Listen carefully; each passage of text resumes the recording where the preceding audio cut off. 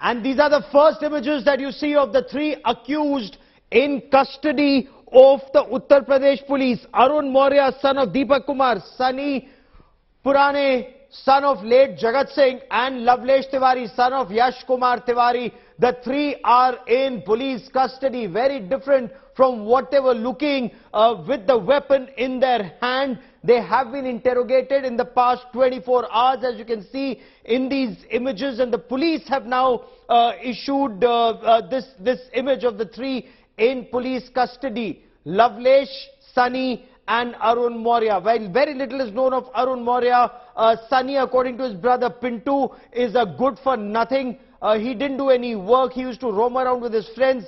Lavlesh Tiwari, according to his father, was no longer living with the family. He is an accused in a very, uh, in a case of assault. Uh, he assaulted a woman in this, on his, in his locality, has spent time in jail, but currently out on bail. The three wanted to become mafia dons. I quickly want to cut across to India Today's Abhishek Mishra for more on this story. Abhishek, what more have the police been able to tell you about the three shooters?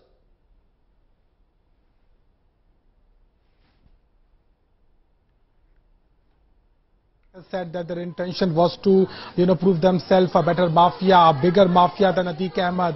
And the interrogation has happened. They have, uh, they have had a lot of, a couple of questions regarding their intent, and it clearly signifies that they wanted to shoot Atiq and uh, uh, his brother Ashraf, and that's what exactly they did. But moreover, a lot of things will take more time for the for the facts to get confirmed because, uh, you know, uh, the UP police, the Prayagraj police, the STF, who is already who was already had the uh, uh, the remand of uh, uh, Atiq Ahmed along with Ashraf.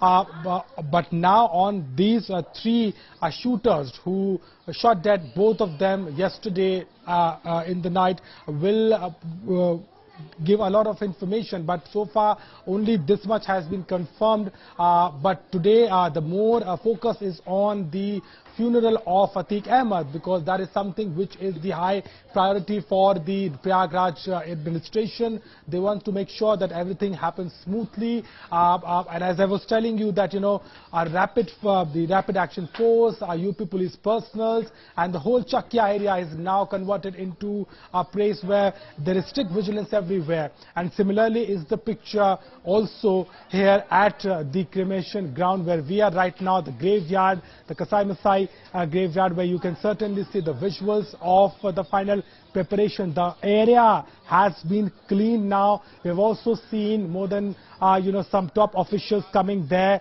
and having a, survey of that of uh, that space where the the grave of Atiq Ahmed and uh, Ashraf has been digged. So that is what we can certainly confirm. Stay with me for a moment for the benefit of our viewers who are joining us right now. I want to show you images of the three accused in police custody.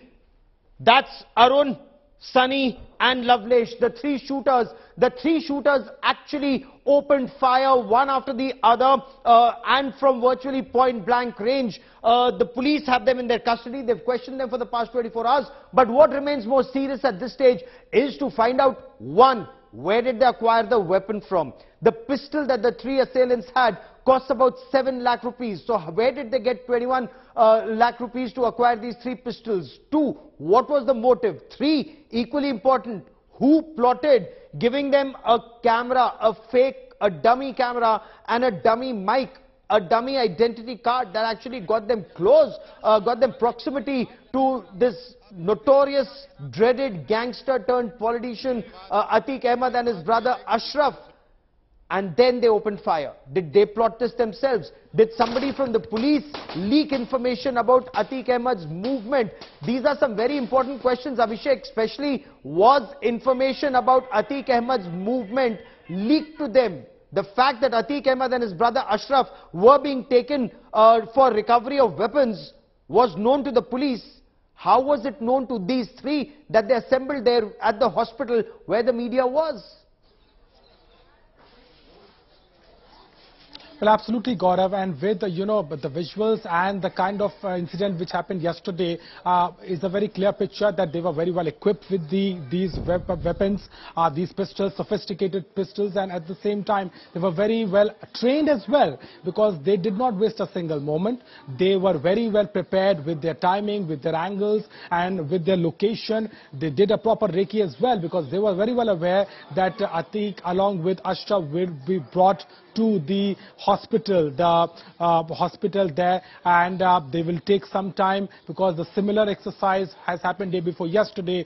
And moreover, about the movement, because uh, you know we have been tracking his uh, uh, movement throughout these couple of days, and we were also very uh, were not sure what the police is doing because they want on day one they took them to another police station, then they brought them to the border of Kaushambi, and yes. then came back and then brought them to the uh, Colvin Hospital where the medical was done. But yesterday, there were some changes. Uh, they took them to a village area. They identified some weapons.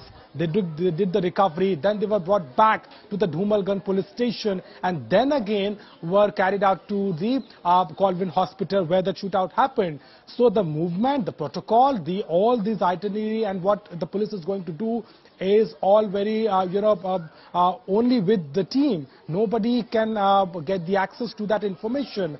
So this shows that they have been following it. They were very well aware that something of this sort is actually one of part of the procedure. Uh, they were very sure that both of them will be taken to the hospital yes. for the medical test, and that was the opportunity for them. And they conspired. Is there clarity on the weapon? Pretended if the parents fake IDs, fake mics, and fake cameras which were used.